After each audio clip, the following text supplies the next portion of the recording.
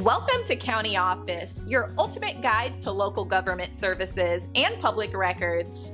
Let's get started. Can undocumented immigrants get food stamps? So, you're wondering if undocumented immigrants can get food stamps? Let's break it down. First, it's important to understand that the Supplemental Nutrition Assistance Program, or SNAP, has specific rules about who can receive benefits. These rules are based on your immigration status.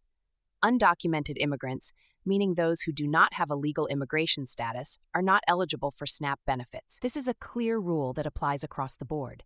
The USDA has never extended SNAP eligibility to undocumented non citizens. However, other lawfully present non citizens might qualify. For example, green card holders, refugees, and certain humanitarian immigrants can be eligible under specific conditions. Green card holders need to have lived in the U.S. for at least five years, or they must meet other criteria, like having a military connection, working for 40 qualifying quarters, or being under the age of 18. Refugees, asylees, and victims of human trafficking are also eligible for SNAP benefits. These groups do not have to wait for a certain period to qualify. In mixed status households, where some members are citizens or eligible non citizens and others are not, the eligible members can still apply for SNAP. For instance, if you have children who are U.S. citizens or lawful permanent residents, you can apply for SNAP on their behalf even if you are undocumented.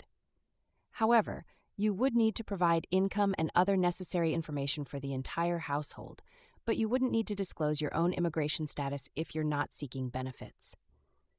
So, to sum it up, undocumented immigrants cannot receive food stamps but other lawfully present non citizens may be eligible under specific conditions.